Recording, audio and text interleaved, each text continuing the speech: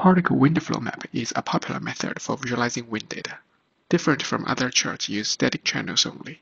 Particle wind flow map leveraged motion as a main encoding channel. In this study, we employed a staircase procedure to explore the effectiveness of using motion channels, and the results indicate the advantage of use motion channel with other static channels. Welcome to my talk at VIS 2023.